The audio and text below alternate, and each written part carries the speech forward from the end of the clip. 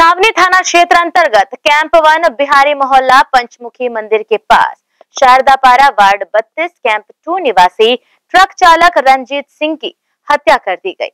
जानकारी के अनुसार शनिवार की रात लगभग 12 बजे रंजीत सिंह अपने दो दोस्तों के साथ साई नगर में मंदिर के पास बैठा था। इसी दौरान फॉर्चुनर कार से पाँच लोग वहाँ पहुँचे और रंजीत के ऊपर हमला कर दिया।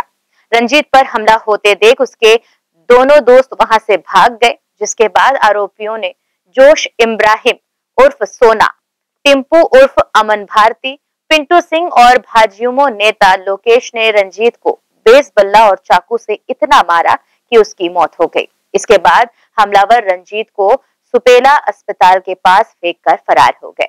छावनी पुलिस ने मामले में तीन आरोपियों को हिरासत में लेकर पूछताछ करनी प्रारंभ कर दी है। पुलिस ने बताया कि मृतक और हत्यारों के बीच पुरानी दुश्मनी थी। कुछ दिन पूर्व ही भाजयुमो नेता लोकेश ने रंजीत को जान से मारने की धमकी भी दी।